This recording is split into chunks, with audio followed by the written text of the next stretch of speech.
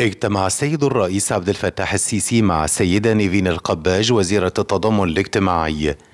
المتحدث الرسمي باسم رئاسة الجمهورية المستشار أحمد فهمي صرح بأن الاجتماع تناول عددا من الموضوعات وعلى رأسها المساعدات الإغاثية لغزة حيث اطلع السيد الرئيس على الجهود التي يقوم بها الهلال الأحمر المصري لإنفاذ المساعدات إلى الأشقاء الفلسطينيين في القطاع.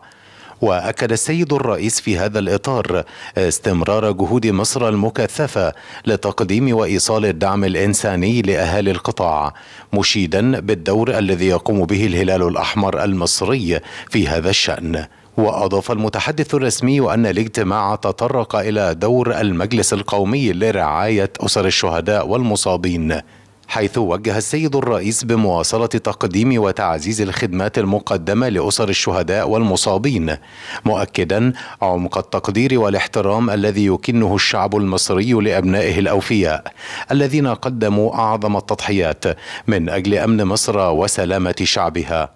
وتناول الاجتماع كذلك متابعة الجهود التي تقوم بها وزارة التضامن الاجتماعي لدعم الأشخاص ذوي الاحتياجات الخاصة خاصة الخدمات الموجهة للسيدات ذوات الاحتياجات الخاصة. وكذا متابعة نشاط الصندوق القومي للقادرين باختلاف.